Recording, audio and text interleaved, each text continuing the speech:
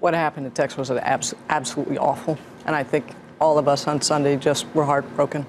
Um, but we have initiate, initiated a review in the Air Force to find out why his fingerprint records were not transmitted to the database, and we'll find out why.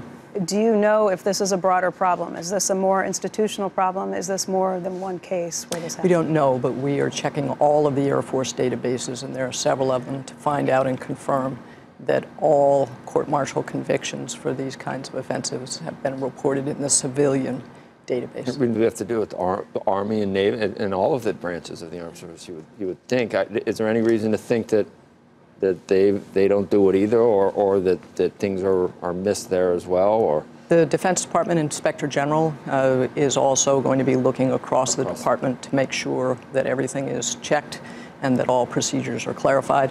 We'll actually be doing a stand down in the middle of the month to do complete training of the of the uh, officers responsible for this. Have, have you thought about whether the Air Force will have to accept some form of liability from the families as a result of this? No, I'm more in, more interested in responsibility. Right. And we've taken responsibility, and we're we're going to find out what happened and fix it. Hey there, thanks for checking out CNBC on YouTube. Be sure to subscribe to stay up to date on all of the day's biggest stories. You can also click on any of the videos around me to watch the latest from CNBC. Thanks for watching.